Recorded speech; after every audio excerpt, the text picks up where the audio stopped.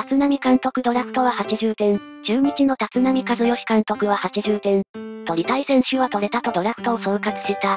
1位指名を公表していたエネオスの渡来が3球団競合となり、立浪監督は一番くじだったが交渉権確定を引き当てられず、それでも外れ1位でロッテと2球団競合の末、アダイク坂の交渉権を獲得すると壇上でガッツポーズを繰り出した。自分に厳しい監督。0点。インタビュー受ける気でいたの面白い。お下がりください。30点だろふざけるな立浪やめてくれ。くじ引いて終わるだけなのにお下がりくださいを残すあたりやっぱ違うなと思わされる。結局結果だよな。立浪さんも来季 A クラスなら一躍名称扱いや。立浪監督のこれまでの得点は？今は100点と言っておけよ。ジュニドラ基準で80点なら25点やな。よて広島とかよりはるかにマシな指名できてるやろ。かわいそう。100点中の80点とは言ってないからな。取った子に失礼やな。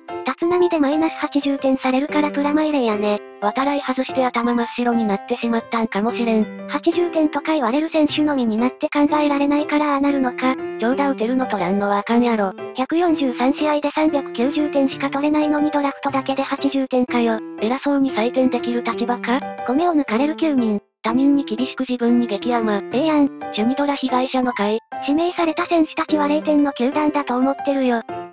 ご視聴、ありがとうございました。チャンネル登録、高評価も、よろしくお願いします。他の動画もぜひ、ご覧いただけると嬉しいです。